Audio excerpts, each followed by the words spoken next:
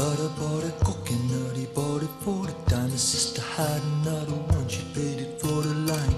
She put the lime in the coconut, she drank and pulled up. She put the lime in the coconut, she drank and pulled up. She put the lime in the coconut, she drank and pulled up. She put the lime in the coconut, she called the doctor, woke him up and said, Doctor, ain't there nothing I can take? I said,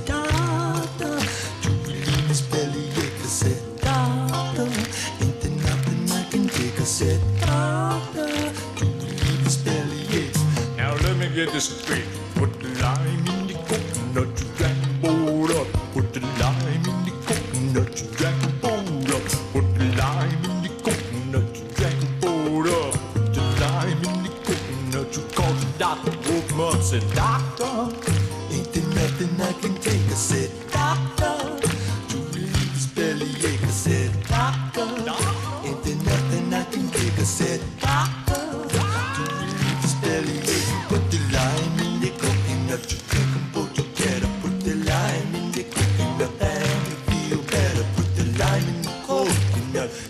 a. Put the lime in the coconut and call me in the morning.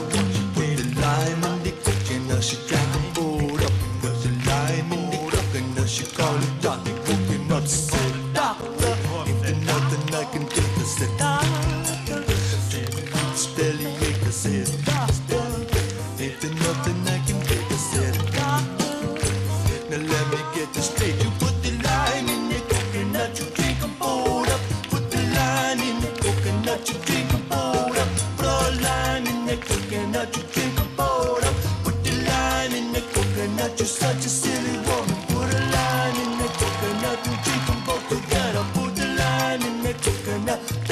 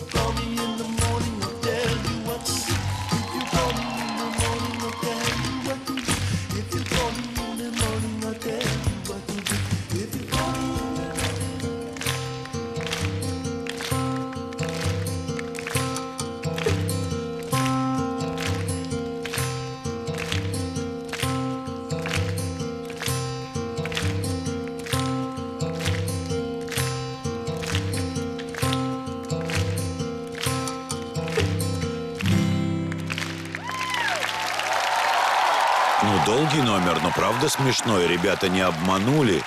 И вы знаете, в общем, среди врачей и психиатров иногда встречаются гораздо более странные, чем тот, которого изобразил Леша Гоман. Вот, а уж про пациенток-то я вообще ничего говорить не буду.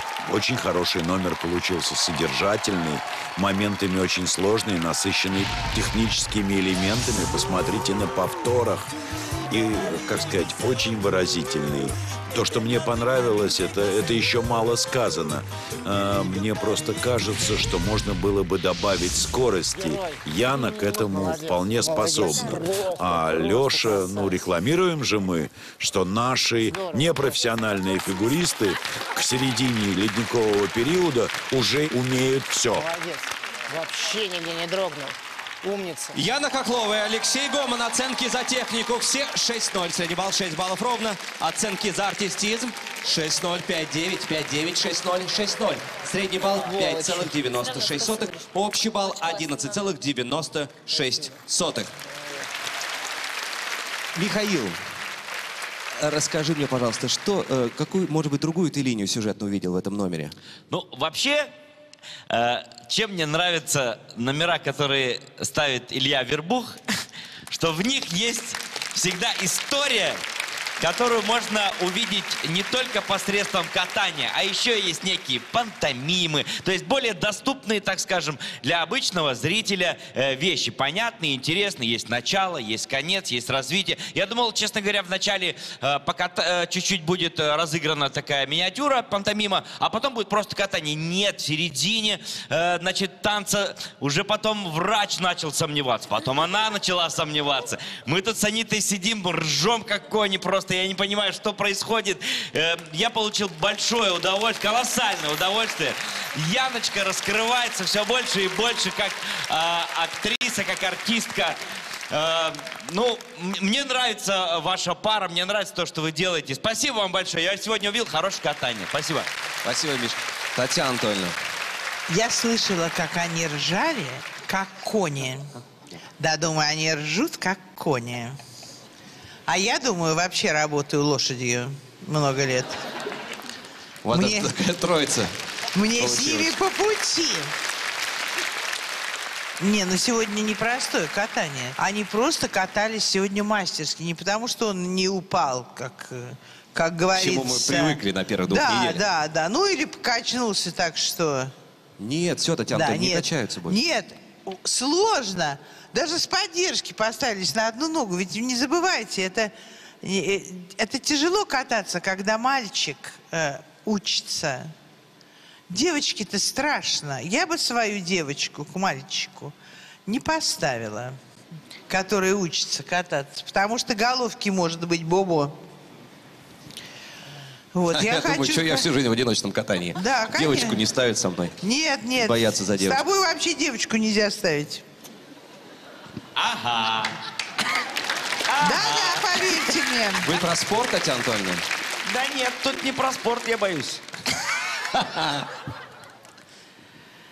Я вообще просто не ожидала, что я вот за технику вам поставлю 6-0 сегодня. Не ожидала. Браво!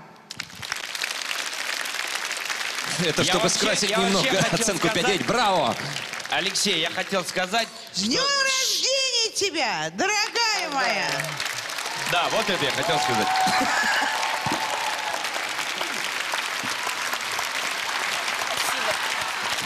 Happy birthday to you. С днем рождения тебя. С днем рождения, дорогая. С днем